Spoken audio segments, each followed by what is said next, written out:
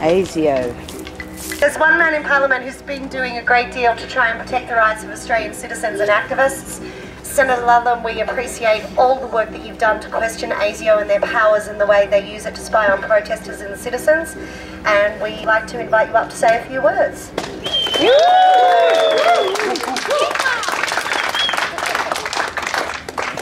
Things. Do I need to use this? These are terrible. Do. Okay, I'm sorry. I've never actually been here before. Um, you can see why they want to move out of it, right? Yeah, too small. So they're setting up um, just around the corner um, what I think will be the second largest structure in the capital at enormous expense to taxpayers. This is an agency um, which has had its budget double and then double again, its staffing complement double and then double again uh, in the name of national security. And it's very difficult to actually tell what it is that they do. A huge amount of their time uh, is being taken up doing security assessments for people fleeing genocide and war in violent parts of our region. Uh, and you would you would maybe question whether that's an appropriate use of the agency's time.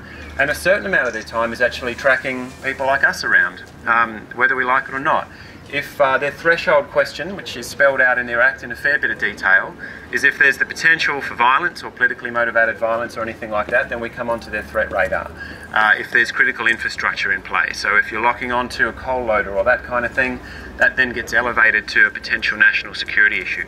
A lot of the surveillance and spying on campaigners, on journalists, and whistleblowers, and civil society organisations is done by units within the state and territory police forces. So these guys only get involved uh, if we're seen to be a very, very serious threat. The most difficult thing is understanding exactly what it is that they do in our name. So the federal police, if they tap your phone or if they're reading your email, they need to go and get a judicial warrant. That gets reported and we have a little bit of information about what goes on. These guys do not. They do not report the wiretapping, they do not report the mass surveillance that's going on on the Australian population. And I, I strongly believe that most of their work is bent towards legitimate national security ends, and some of it really isn't. And it's impossible to tell which is which. It's impossible to tell. Uh, it's, it's very difficult to tell exactly what it is that this agency does. So we do what we can in Parliament, uh, but we also need the kind of citizen watchdogs, and we need to remind ourselves that it's not it's not innocent, and this work is not done in isolation. Uh, and there's a reason why we have chained together corporations, the Department of Defence, embassies, uh, and Australia's own domestic security agencies. There is a reason why these groups and these uh, institutions and agencies have all found themselves on this list, is that these issues are linked. They are linked to questions of democracy, questions of war, questions of mass surveillance on civilian populations suspected of no crime. So I'm glad we're here. Are you guys glad we're here? Thank you very much for being here.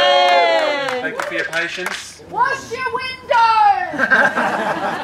How much money did they spend on the new building? Not doing. Uh, I would probably need a Canberra local because it kept going up. Is it up to 700 million bucks? I thought it was It's a- 650. okay, I'm exaggerating. haven't been able to move in yet. And they have not been able to move in yet, and apparently somebody lifted their floor plans and floated them to the Chinese government. So so much for your top secret secret agency. That's kind of that's kind of sad and ironic, uh, given the amount of money that is spent on these agencies. Um, in an age of climate change, we need to ask ourselves what will provide for genuine security. And I'm not sure that it is continually redoubling the staffing and financial components of spy agencies. In fact, I think our security rests in a completely different direction. Thanks very much for being here.